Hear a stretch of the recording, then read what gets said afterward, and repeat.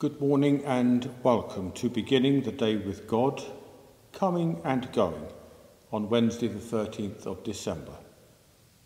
We're now in the season of Advent, a time when we as Christians think of Jesus coming, whose presence and encouragement gets us going. A world that was paralyzed with fear and anxiety before he came found freedom of heart and freedom of action through his presence and encouragement, and that freedom is with us still. Our opening music today, Come Thou Redeemer of the Earth, by Michael Praetorius. Lord Jesus Christ, we have come here to worship you in this glad season of Advent, a season of expectation, of celebration, and above all, of preparation. We come before you now and ask you to help us be ready, to give thanks for your coming, to recognise the ways in which you come to us now, and to welcome you when you come again. Open our hearts as we worship you so that all we share may give us a deeper understanding of this season and a fuller understanding of your love. Amen. In Advent, we wait for you. God the Maker, Jesus the Storyteller, Holy Spirit of life. In Advent, we cry for you. God of justice, Jesus of Bethlehem, Holy Spirit of hope. In Advent, we long for you. You, God, are our love, our warmth, our light. Amen.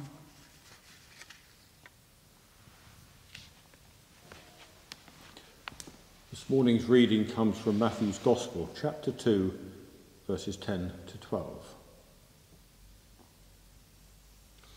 When the wise men saw that the star had stopped, they were, they were overwhelmed with joy. On entering the house, they saw the child with Mary his mother, and they knelt down and paid him homage. Then, opening their treasure chests, they offered him gifts of gold, frankincense, and myrrh.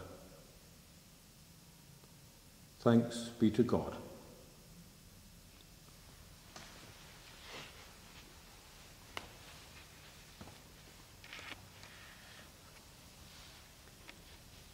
What would Mary and Joseph have done with myrrh and frankincense?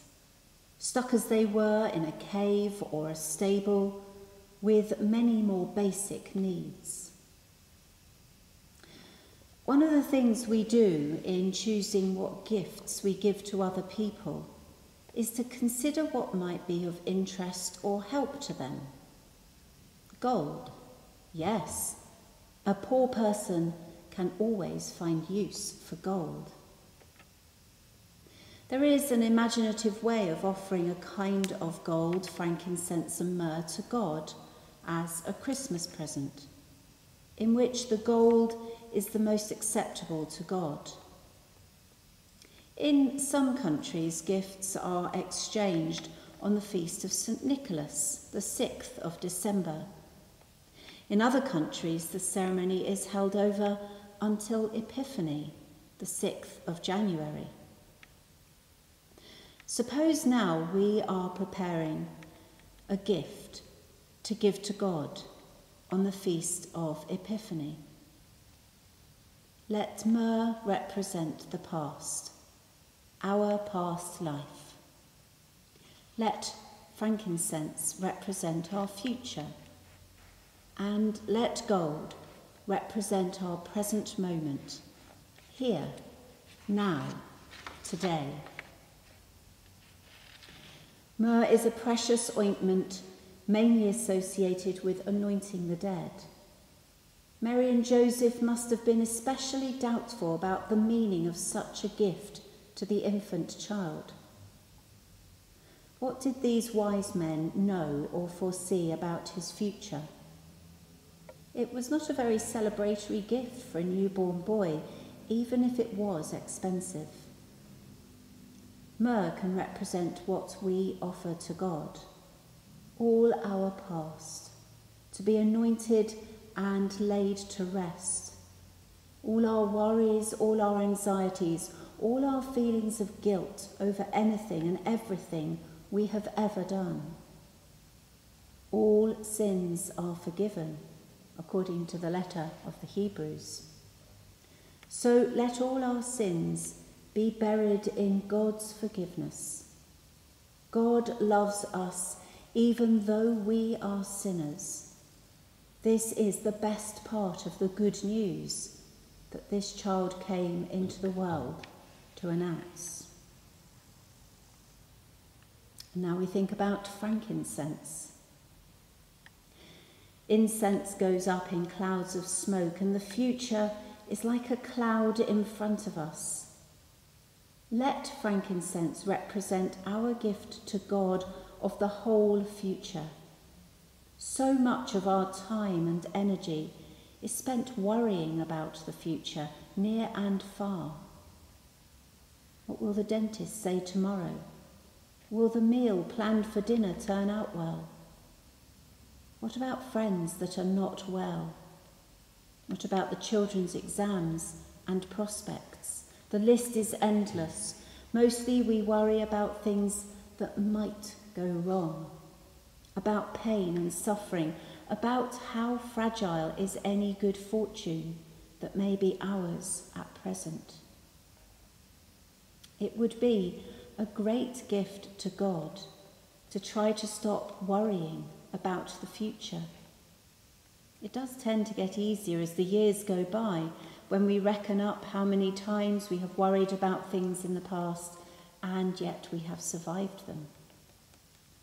Whatever happens, God will still love us, even though we may be suffering. Suffering is not God blaming us. Success is not praise from God. Everything will be all right. All will be well. And then gold. Let gold represent the present moment. The present moment is the only one we have, and the present is where God is not in the past nor in the future. Time spent wandering through the past or rummaging through the future is time wasted as far as God is concerned. We can learn from our past and prepare a little for any obviously likely future event. But that is the same as living now. The waste comes from trying to undo the past with anything other than God's forgiveness or from setting our hearts on what is uncertain. All will be well, and therefore all is well. We are each involved in a story that has a happy ending, though we cannot yet see the how or the when. Let us pray. God of our lives, we welcome this new day. It is your gift to us, a new creation, a promise of resurrection. Thank you for the grace of being alive this morning. Thank you for the sleep that we have been refreshed by.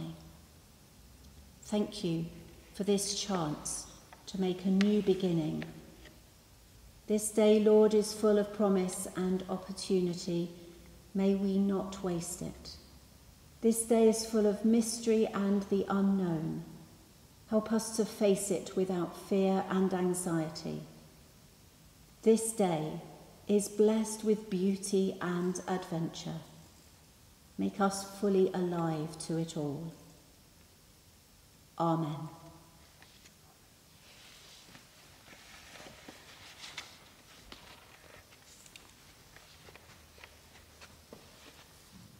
Believing the promises of God as our Saviour taught us, so we pray. Our, our Father, who art in heaven, hallowed be thy name. Thy kingdom come, Thy will be done on earth as it is in heaven.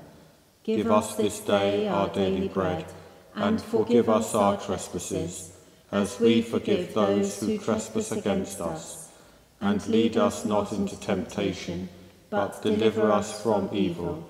For thine is the kingdom, the power, and the glory, for ever and ever. Amen. God of Advent and of waiting times, we know both darkness and light. We live with it and in spite of it, and we give you thanks for the gifts of night time and the daytime, the light time and the dark time. Amen. The wonderful counselor guide you, the mighty God protect you, the everlasting Father be with you, the Prince of Peace inspire you, and the blessing of God be upon you now and evermore. Amen. Amen.